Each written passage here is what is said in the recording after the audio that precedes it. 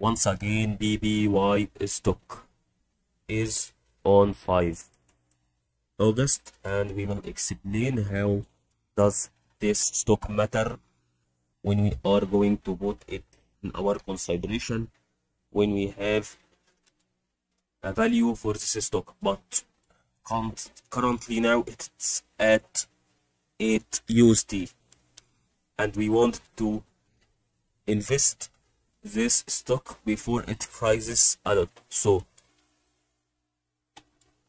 you may take your action and have a little bit of a stock and not a lot of a stocks. So you can try or whether this happiness good or bad. Okay. But if you don't it's it doesn't matter you will not lose anything. And i recommend the second recommendation is that you don't do anything of this action because it's currently on rising purpose and i don't know why this rises or where it's going to rise until.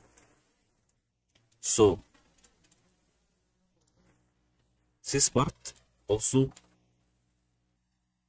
maybe maybe one of the reasons that made this part rise. And it may indicate to us where it's going to rise until what? It's going to rise until maybe this part. This is the first thing that I want to mention. The second thing I want to mention is you can see that if we don't buy before it's going to rise here. You can say that it has no chance. It's so expensive. But maybe I recommend to use another stock because this stock is so